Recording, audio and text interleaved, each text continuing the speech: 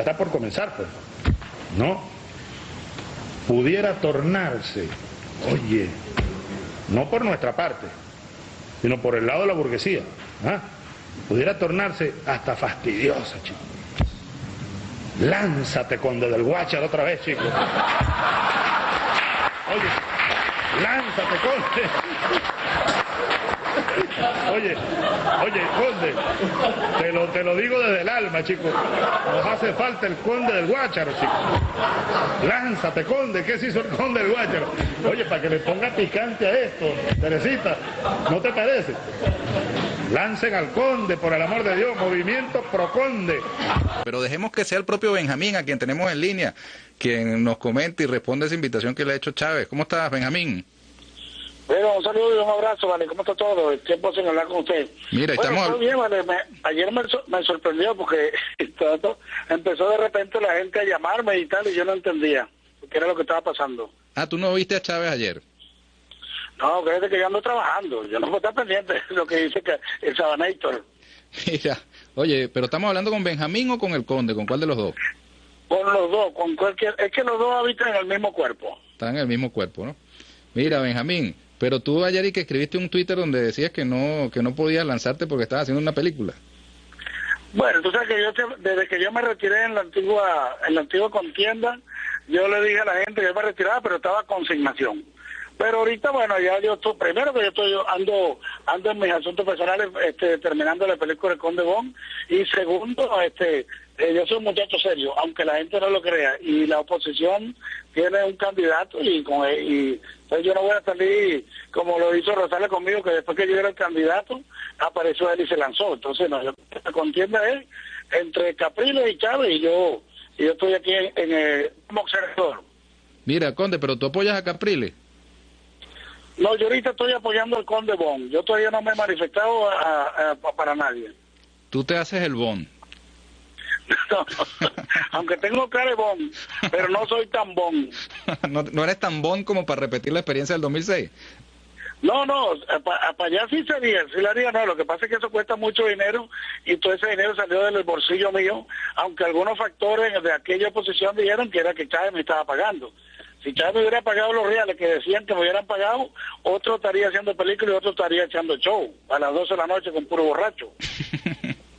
Mira, Conde, y de esa experiencia yo recuerdo que, que, tú incluso hasta problemas de salud tuviste, ¿no? De la, de la candidatura, tuvo que hospitalizar. Bueno, con la, candidat la candidatura se deterioró mi salud, eh, perdí dinero, este, perdí mi familia, porque a raíz de eso se empezó a requebrar mi, mi matrimonio, y, lo más doloroso que lo hice con, eh, este, con mucho, con, con mucha fe y mucha decencia, y sin embargo siempre salieron hablando que era que yo era este, un mandado de, del gobierno Cuando, si tú recuerdas que el primer candidato que había era yo, porque ahí nadie quería lanzarse.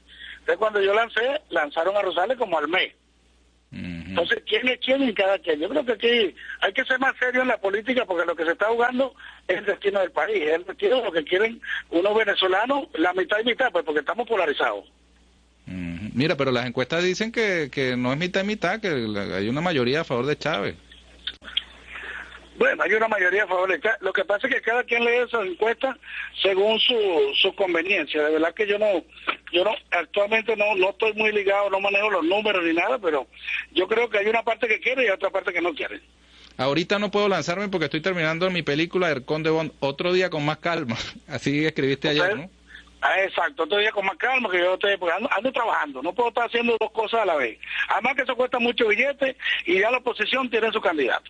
Que, arra que, arranque, que arre con él. Lo que yo sí veo es que este, deberían participar todos los factores de oposición, porque yo siempre veo los mismos colores, la misma bandera. Y mm. la cosa debería ser más, más ligadito, más participación de los demás factores. Mm. Es lo que haría yo, ¿no? ¿Y a quién, a quién extrañas tú ahí? ¿Quién, ¿Quién crees tú que falta? No, no, faltan todos. En una campaña electoral ahí no hay, ahí no hay subcampeón. Ahí hay, hay uno que gana y otro que pierde.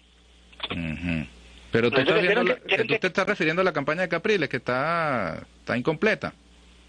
Bueno, no, es que falta más participación de los partidos, de todos. Porque Chávez no ha empezado la campaña. Yo no lo veo a él todavía. Uh -huh. Uh -huh. Es lo que no es lo que nos hace un, un, un parte médico para que uno lo vea más hinchado, está flaco, está gordo. El único que sabe cómo está es él. Bueno, ayer, ayer se vio muy vital y echador de broma. Bueno, está echando broma, pero por lo menos.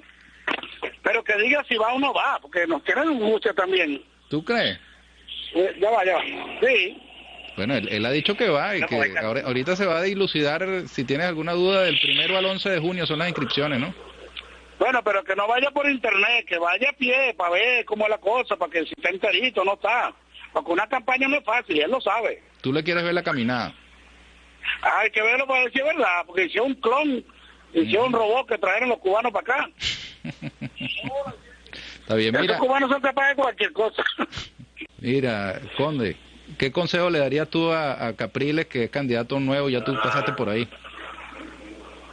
Bueno, que no se deje enamorar por los obsecuentes, porque a veces el mismo círculo de uno le hace ver una realidad que no es la que, que en realidad está. Uno siempre tiene que pensar que esto no, está- no está fácil. Y Chávez que coja con seriedad la candidatura, si va a ser candidato, si no va a ser, porque tiene la gente, hasta el mismo partido PSUV los carga loco también. Mira, Conde, pero eso que tú dijiste que de verdad perdiste el matrimonio por la campaña electoral, Claro, porque ahí empezaron las fisuras. ¿verdad? Tú- y, Se y- pierde la familia, esto es muy sacrificado. y- y tu compañera te decía, no te metas en eso. Ella bastante que me lo advirtió, pero después después me acompañó y bueno, después se fue rompiendo todo. Bueno, vamos a decir como dices tú en tus películas y terminó la escena, corten. Muchas gracias, Ok, Dios te bendiga. Chao, hasta luego.